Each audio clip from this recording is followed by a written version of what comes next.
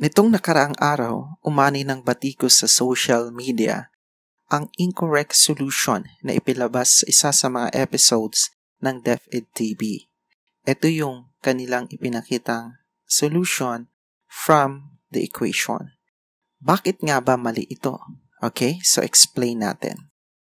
Actually, yung topic na ipinakita sa episode na yon is about solving quadratic equation using quadratic uh, using factoring method. Now, ang pinagmula ng lahat ng iyon ay ang equation na ito. No, ito yung given equation. 2x squared plus 6x equals 0. Okay, para ma-solve natin or kunin natin yung solutions or roots ng equation na ito, we need to factor using common monomial. Okay? Now, kapag common monomial factoring, kailangan kuha natin yung tinatawag na GCF or greatest common factor.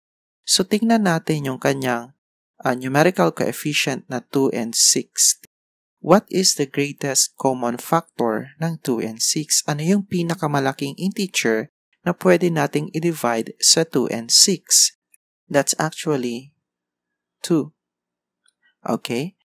Since x is also common, tingnan nyo to, meron tayong x squared, meron tayong x, common siya, kasama siya sa ating GCF. So our GCF is 2x. Why 2x? Why not 2x squared? Kasi to find the uh, GCF, we get the least exponent or yung pinakamababang exponent. Since 2 ito, at ang exponent dito is 1, no? Hindi lang nakikita pero there is 1 there. So we get the lowest exponent. So, x na lang. So, that is one of the factors ng ating equation.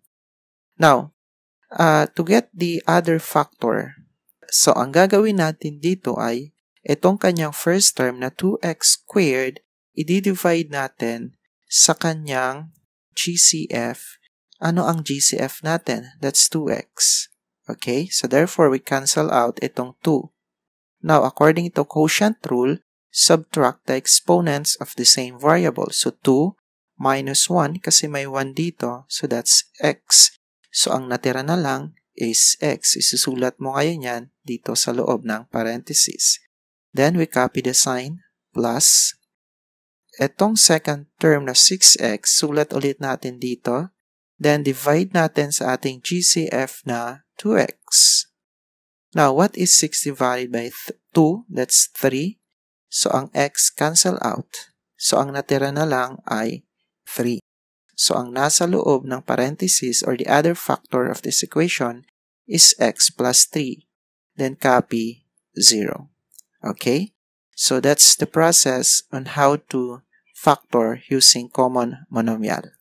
Now, according to zero product property, kapag nagsusolve tayo ng quadratic equation using factoring method, we equate both factors by 0. So, itong 2x, one of the factors ng equation natin, equate natin yan sa 0.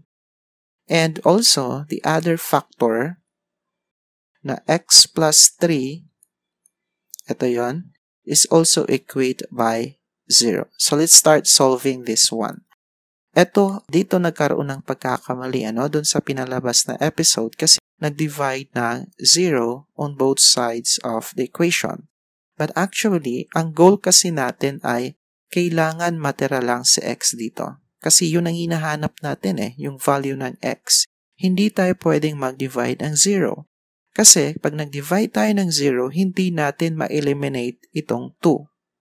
Actually, 2 divided by 0, the answer is undefined. So, hindi talaga natin ma-eliminate yung, ah, hindi natin makukuha yung value ng x. Okay? So, ano ang tamang solution? So, we need to divide both sides of the equation by 2. Okay? E bakit 2 ang i-divide natin? Kasi ang goal nga natin, ma-eliminate itong 2. So, 2 divided by 2, that's 1, or cancel out na natin. So, ang natira na lang is x. And what is 0 divided by 2? That is 0. Actually, tama yung sagot no, na pinalabas sa episode ng DepEd TV. So, ang meron lang pagkakamali ay yung solution. But the answer is correct. Now, solve na rin natin itong kabila. So, ang goal ulit natin, kailangan matira na lang sa x. Ma-eliminate natin itong plus 3 dito sa left side of the equation. So, what we're going to do is apply a subtraction property of equality. So, we write x plus 3, then mag-minus tayo ng 3. Kung nag-minus tayo ng 3 sa left side of the equation, ganun din ang gagawin natin sa right side of the equation. Bakit? para ma-eliminate to. Kasi ang gusto natin, matira na lang sa x dyan. Ba? x na lang ang natira. And what is 0 minus 3? That's negative 3. So the value of x is negative 3.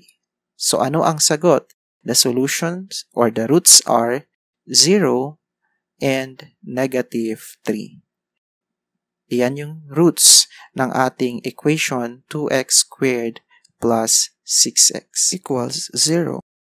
Anyway, uh, umamin naman no, yung Department of Education na merong pagkakamali doon sa isang episode ng DepEd TV. So I think iyon ang pinakamalaga. At ang isang magandang bagay pa, uh, nagkaroon, no, marami palang Pilipino or mga estudyante, no, na may interest pa rin sa mathematics. Okay? That's all. Thank you.